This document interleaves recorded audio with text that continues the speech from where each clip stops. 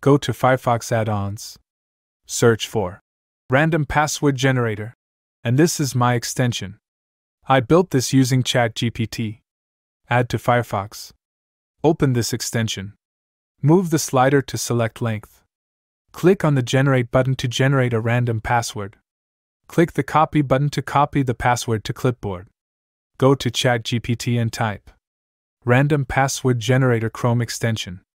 On click Open index.html, display a slider with min value 6 and max value 20. Users can slide this slider to change the value. On click Generate Password button, generate a random password and display it. On click Copy button, copy this password to clipboard. Also write code manifest.json file. Use HTML, JavaScript, and Bootstrap. Now ChatGPT is generating code for our Chrome extension. And this will also work with Firefox and Brave browser. It will generate code for three files index.html, index.js, manifest.json. Copy this code. Paste it inside index.html. Copy this code. Paste it inside manifest.json. Copy this code. Paste it inside index.js.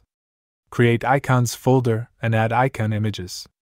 In manifest.json, add path for icon images. Open Chrome browser and go to Chrome extensions. Click on Load Unpacked extension. Select extension folder. Our extension is loaded. Click on the extension icon. It will open this pop up window. Move slider to choose password length.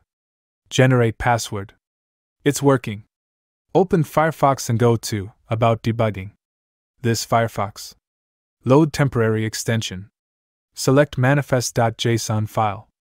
And this is our extension. Open this extension. Try generating passwords of different length by moving the slider left and right. Let's publish this extension. Create Mozilla developer account and go to Developer Hub.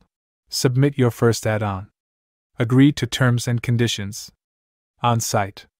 Zip your extension folder. Upload zip file. Continue. Continue. Fill in some details about your extension. Submit your extension. In less than 24 hours, your extension will be published and live. You can try adding this extension to your Firefox browser. I didn't write any code myself.